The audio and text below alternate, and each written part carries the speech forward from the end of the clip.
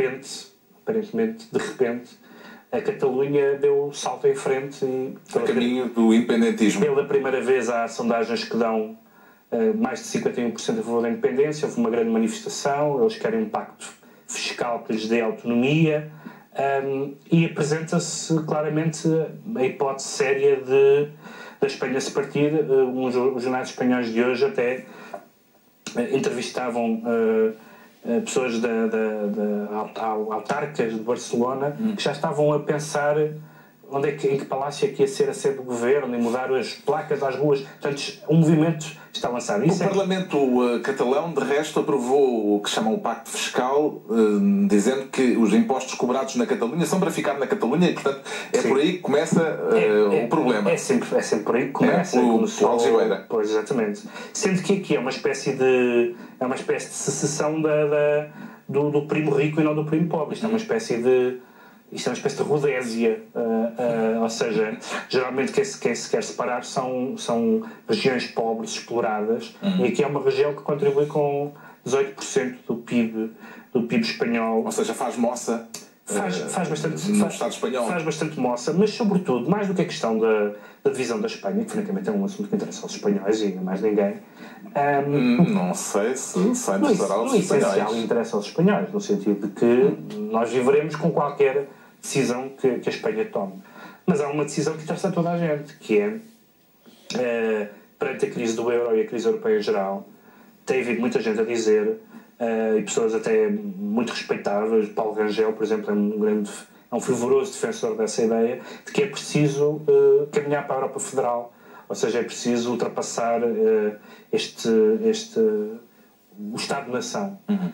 E nós, Há aqui dois movimentos contrários. Percebemos que isso, não, isso na Catalunha não é, não é óbvio, no País Basco não é, não é óbvio, na, na Bélgica, nas duas partes da Bélgica, não é óbvio, portanto as pessoas estão a fugir para a frente. É evidente que o caso é grave, não é? Eu acho que é mais grave até do que aquilo que o, o Pedro uh, o coloca, porque ele, ele como eu, somos, ambos somos a favor da autodeterminação dos povos e ficamos muito contentes com isso. Claro. É evidente que uh, quando nós olhamos para a Europa. Uh, quer dizer, se começa na Catalunha, ninguém sabe onde é que acaba, não é? Uhum. Aliás, não é por acaso que Durão Barroso já vem dizer que... Desculpa mas isso é, isso é sempre um discurso, é o pior do discurso europeu, é se vamos por aqui, ninguém sabe como é que acaba. Diz isso sobre os referendos europeus, diz isso sobre as... Sobre as Admito que a Europa não tem propriamente uma história, digamos, muito simpática ao longo da história dessa sua fragmentação, um caso não costuma correr bem. A Europa não tem sido um caso de sucesso dos últimos anos. Certo? Não.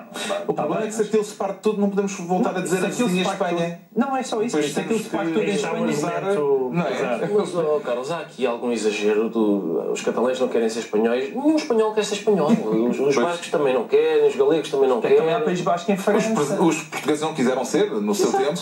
A característica que eu mais prezo nos espanhóis é o facto de eles precisamente não quererem ser espanhóis. Tem que fazer País Basco em França, e há Córcega em França, e há a Escócia na Grã-Bretanha e por aí fora, na Bélgica. Está... Nunca mais isso acaba, não é? Mas e então? Não, e então nada. Se, se as comunidades locais lá, não há dúvida nenhuma que a Catalunha é um país. A Madeira, a Madeira, é uma nação. Quando a Madeira? Para quando a Madeira? Não, não compares a Madeira à Catalunha. Por favor. Não, infelizmente não posso. se Madrid e Barcelona se pegarem à batatada, Ricardo Araújo Pereira, para pôr as coisa, a coisa de um ponto de vista elevado, Exato. Uh, declara que vai ficar. Em princípio, fico em casa. Não... Tenho interesse nessa disputa. Em Pamplona é com tomates. Sim, a, a mas total, também. Uh, não, tem, outra... não tem preferência, não, não. é X, não É X, voto X nesse sim.